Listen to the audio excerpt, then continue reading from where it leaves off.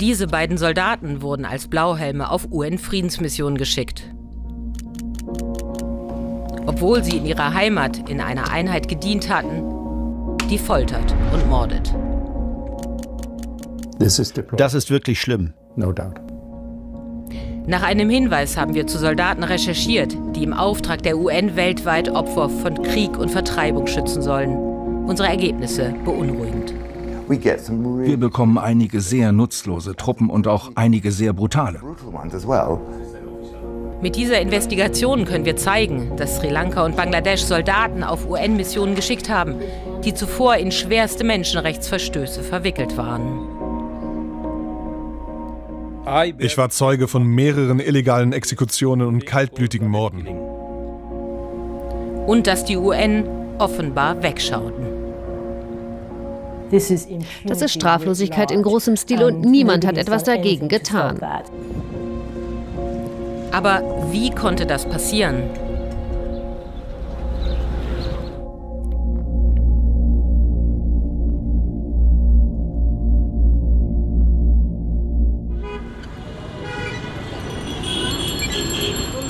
Wir sind in Bangladesch, einem der größten Truppensteller für UN-Friedensmissionen.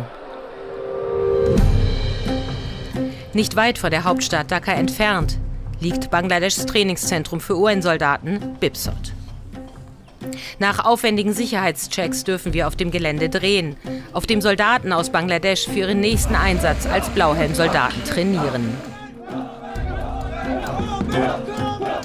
Diese Gruppe, erzählt man uns, wird bald in den Südsudan geschickt. Eine von zehn Missionen, auf denen die fast 6000 Blauhelmsoldaten aus Bangladesch derzeit im Einsatz sind. Ihre Aufgabe ist es, die Zivilisten dort zu schützen uh, und für Sicherheit zu sorgen, damit humanitäre Hilfe geleistet werden kann. Bei unserem Besuch wird nichts dem Zufall überlassen. Die Fragen mussten wir vorher schriftlich einreichen. Mit keinem der Soldaten dürfen wir direkt sprechen. Nur die Generäle beantworten unsere Fragen. Bangladesch hat mehr als genug Soldaten, die auf Missionen gehen wollen. Das ist eine Sache des Stolzes für uns und wir haben wirklich viele Freiwillige, die ihren Beitrag leisten wollen. Nein! Eine Sache des Stolzes, aber auch eine, die sich lohnt.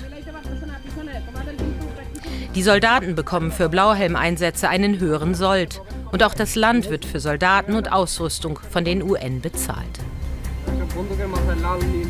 Nach Regierungsangaben hat Bangladesch in den vergangenen 23 Jahren mehr als 2,5 Milliarden US-Dollar von den UN erhalten.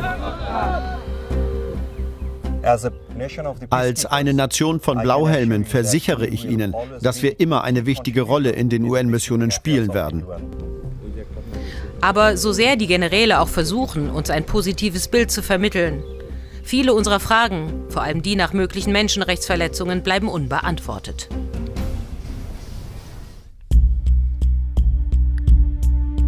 Schon seit Jahren kritisieren internationale Organisationen massive Menschenrechtsverletzungen durch Bangladeschs Sicherheitskräfte.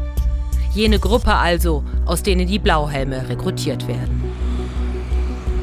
Besonders in der Kritik des Rapid Action Battalion, RAB, eine Eliteeinheit aus Polizei und Militär, gegründet, um Terroristen und Kriminelle zu bekämpfen.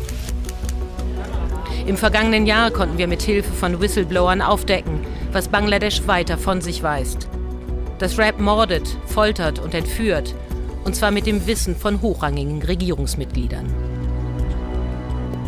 Später würden Rap-Soldaten auf die gut bezahlten UN-Posten entsandt, erzählt uns ein ehemaliger Kommandeur. Er selbst war an Tötungen beteiligt und wurde danach UN-Blauhelm. Soweit ich weiß, werden alle, die bei Rap waren, auf UN-Missionen geschickt.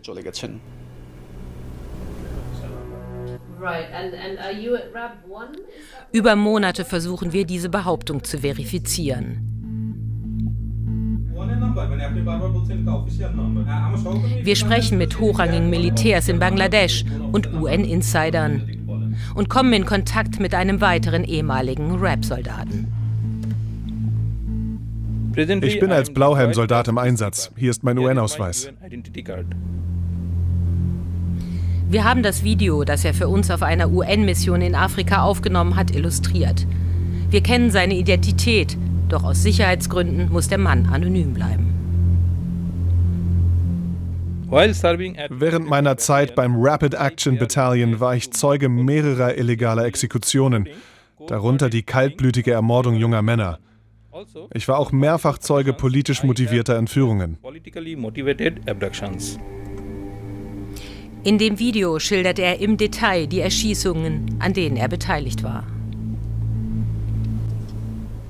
Als die Kugel seinen Kopf zerschmettert hat, sind Blut und Gehirnmasse auf meine Uniform gespritzt.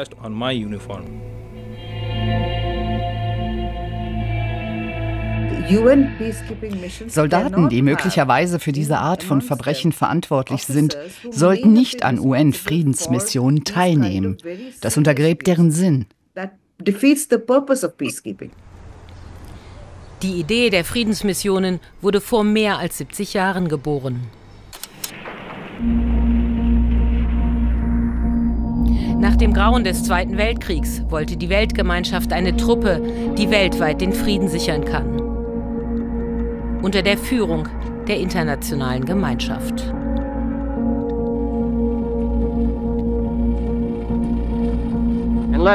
Lasst uns versuchen, gemeinsam eine gerechtere und dauerhaft friedliche Welt zu schaffen.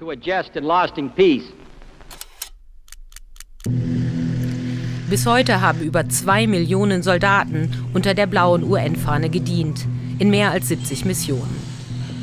Oft waren sie die letzte Hoffnung für Zivilisten in Kriegen und auf der Flucht. Sie beschützen Hunderttausende Zivilisten, unterstützen politische Konfliktlösungen und helfen, Waffenstillstände einzuhalten. Aber über die Jahre wuchs auch die Kritik an den Missionen bis hin zu gewalttätigen Protesten. Es gab etliche Korruptionsskandale und sexuellen Missbrauch durch UN-Soldaten, von denen sich die UN dann immer deutlich distanzierten. Missionen können nur erfolgreich sein, wenn das Verhalten unserer Blauhelme höchsten Standards entspricht. Aber was passiert, wenn Soldaten aus Einheiten wie dem Rapid Action Battalion in den Einsatz geschickt werden? Wir sind in Kopenhagen, um einen Mann zu treffen, der schon früh vor Menschenrechtsverbrechen in Bangladesch gewarnt hat.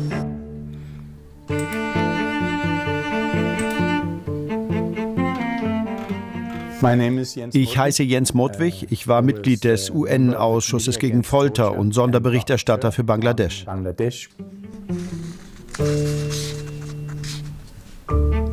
Modwig und die anderen Experten des Komitees haben 2019 im Auftrag der UN die Menschenrechtslage in Bangladesch untersucht. Ihr Bericht äußerte tiefe Besorgnis, dass RAP-Mitgliedern glaubhaft Folter, willkürliche Verhaftungen, geheime Inhaftierungen, Verschleppungen und außergerichtliche Tötungen vorgeworfen wurden.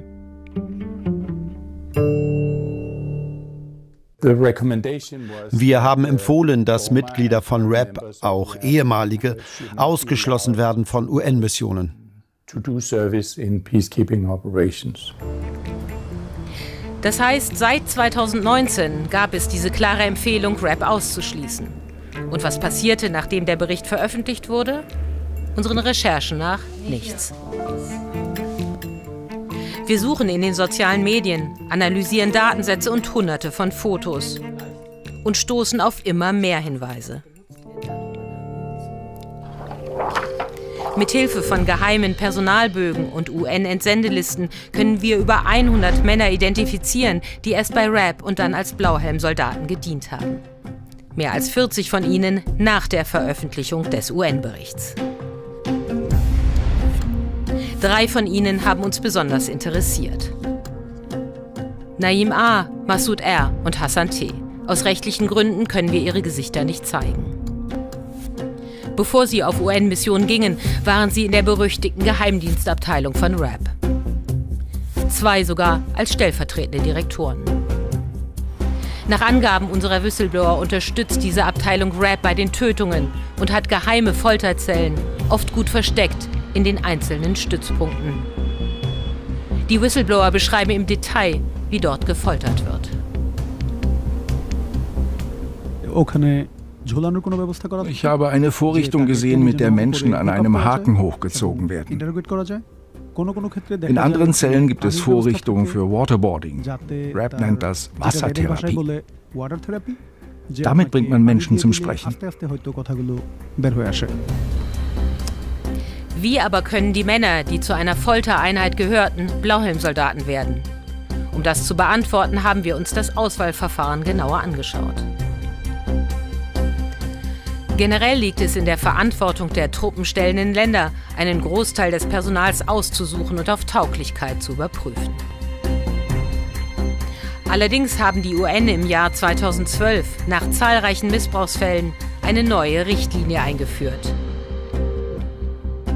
Die entsendenden Länder müssen jetzt unterschreiben, dass die nominierten Soldaten keine Straftaten begangen haben oder gegen internationales Menschenrecht oder humanitäres Völkerrecht verstoßen haben.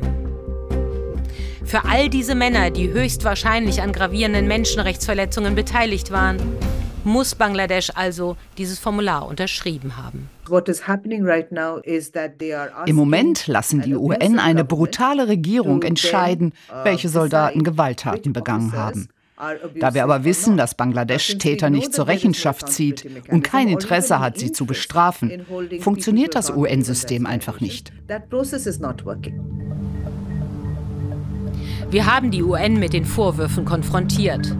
Mehrfache Anfragen nach einem Interview vor der Kamera wurden abgelehnt. In einer schriftlichen Stellungnahme der Abteilung für Friedenseinsätze heißt es, Wir haben nicht die Ressourcen, die Informationen zu jeder einzelnen Person zu überprüfen. Die überwiegende Mehrheit der Truppen erbringt gute Leistungen, obwohl viele von ihnen mit begrenzten Mitteln in einem schwierigen Umfeld arbeiten. Wenn Bangladesch also allem Anschein nach die Richtlinie umgehen konnte, liegt der Verdacht nahe, dass es weitere Länder gibt. In London treffen wir uns mit einer Frau, die seit Jahren Menschenrechtsverbrechen aufdeckt. Ich bin Frances Harrison und leite das International Truth and Justice Project. Wir sammeln Beweise für Verbrechen während und nach dem Bürgerkrieg in Sri Lanka. Auf ihrem Laptop zeigt sie uns Bilder und Zeugenaussagen. Sie alle dokumentieren die Gräuel während des 26-jährigen Bürgerkriegs in Sri Lanka. Besonders die letzten Monate des Krieges waren äußerst brutal. Beide Seiten, die Armee Sri Lankas und die Rebellenorganisation Tamil Tigers, begingen grausame Menschenrechtsverbrechen, für die bis heute kaum jemand zur Rechenschaft gezogen wurde.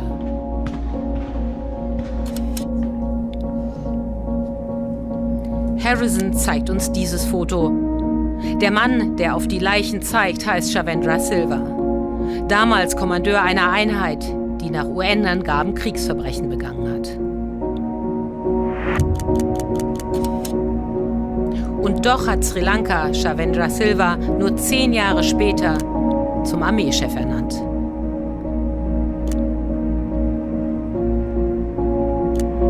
Als solcher war er verantwortlich für die Entsendung von Hunderten Blauhelmsoldaten. Nach internationalen Protesten erklärten die UN, keine Soldaten mehr aus Sri Lanka auf UN-Missionen zu schicken. Außer Zitat, sollte eine Aussetzung ein ernsthaftes operatives Risiko für die UN-Operationen bedeuten. Die UN ließen sich also eine Hintertür offen und in der Tat hat sich die Truppenzahl kaum verändert. 2019 entsandte Sri Lanka 687 Blauhelmsoldaten. Im Folgejahr nach Silvers Ernennung waren es immer noch 665. Es hatte also keinerlei Auswirkung. Das zeigt, dass Menschenrechte in den Friedenseinsätzen einfach keine Priorität haben. Sie versprechen etwas zu tun und dann erfüllen sie dieses Versprechen einfach nicht. Harrison erzählt uns, wie sie die UN wiederholt auf Blauhelmsoldaten aufmerksam gemacht hat, die höchstwahrscheinlich an den Gräueltaten beteiligt gewesen seien. 2019 warnte sie die UN vor diesem hochrangigen Offizier, Oberst Srinachi. Angesichts seines Regiments und der Informationen, die wir sammeln konnten, bestand ein erhebliches Risiko, dass er in den Konflikt involviert war, als es zu groben Menschenrechtsverletzungen kam.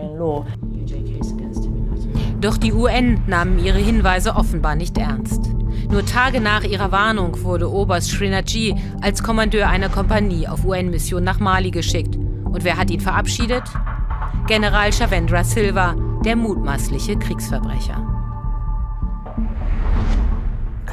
Es ist unvorstellbar, was es für die Opfer des Bürgerkriegs bedeutet, das zu sehen. Das ist Straflosigkeit in großem Stil und niemand hat etwas dagegen getan. Die UN-Abteilung für Friedenseinsätze schreibt, man habe die Vorwürfe ernst genommen, aber keine belastenden Informationen gefunden, dass Oberst Srinaji an Menschenrechtsverbrechen beteiligt war.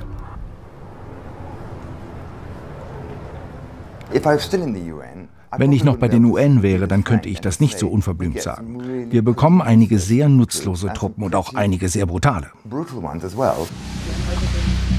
Im Laufe unserer Recherchen hatten wir Kontakt zu vielen UN-Insidern. Aber dieser ehemalige Mitarbeiter ist der Einzige, der offen vor der Kamera spricht. Ich heiße Andrew Gilmore. Ich war stellvertretender UN-Generalsekretär für Menschenrechte von 2016 bis 2019. In dieser Zeit hat Gilmore selbst erlebt, was passieren kann, wenn die UN von Ländern fordern, Soldaten wegen Menschenrechtsverbrechen auszuschließen. Wir haben das in Ländern versucht und die haben wirklich hart reagiert. Ein Land, das sehr wichtig war, hat wortwörtlich gesagt, okay, dann ziehen wir alle Truppen ab. Und der damalige UN-Generalsekretär musste ins Land reisen und sich quasi beim Staatsoberhaupt entschuldigen. Sonst wären vier UN-Missionen zusammengebrochen. Welches Land es war, sagt er uns nicht, aber dass die UN tun, was sie können. Doch seine Aussagen zeigen, bei UN-Friedensmissionen sind die UN offenbar erpressbar. Die UN können nicht sagen, okay, diese Soldaten nehmen wir, weil das Land Menschenrechte respektiert. Und euch, sorry, nehmen wir nicht. Diese Möglichkeit haben die UN einfach nicht. Der Grund? Angesichts gefährlicher und oft tödlicher Missionen haben sich viele Staaten aus den Einsätzen zurückgezogen. Stattdessen zahlen sie und überlassen es Ländern wie Bangladesch, Pakistan, Ägypten oder China, den Großteil der UN-Truppen zu stellen. Ländern also, deren Sicherheitskräfte seit Jahren in der Kritik stehen.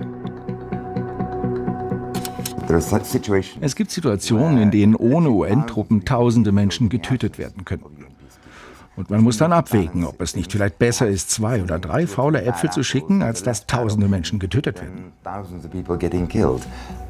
Das ist eine schockierende Aussage, zwei oder drei faule Äpfel, wenn man bedenkt, was diese faulen Äpfel aus Sri Lanka getan haben. Es ist klar, dass man einem Frieden, den solche Kräfte schaffen, nur schwer trauen kann. In Bangladesch wird die Kritik selbstbewusst zurückgewiesen, ebenso wie die Forderung, das Rapid Action Battalion von Friedensmissionen auszuschließen. In einem regierungsnahen Sender hatte der Staatsminister im Außenministerium eine klare Botschaft an die Kritiker. Ob sie nun Kongressabgeordnete, Senatoren, Präsidenten, Premierminister sind, sie sind unsere Feinde. Ob Bangladesch tatsächlich seine Truppen aus den lukrativen Friedensmissionen zurückziehen würde, wenn die UN Druck machen würden, ist völlig offen. Die Generäle weichen unseren kritischen Fragen mit vorformulierten Antworten aus und sprechen lieber über Bangladeschs Pläne, die Einsätze sogar auszuweiten. Es freut mich aufrichtig, Ihnen mitzuteilen, dass das UN-Hauptquartier uns gebeten hat, Koordinator für ein südasiatisches Netzwerk von Friedensmissionen zu werden. Das zeigt, wie sehr wir in der Welt wertgeschätzt werden. Gut möglich also, dass Bangladesch in Zukunft noch mehr Truppen entsenden wird, rekrutiert auch aus dem Rapid Action Battalion. Und bis heute hat die UN-Abteilung für Friedenseinsätze Bangladesch oder die Beteiligung von RAP noch nie öffentlich kritisiert.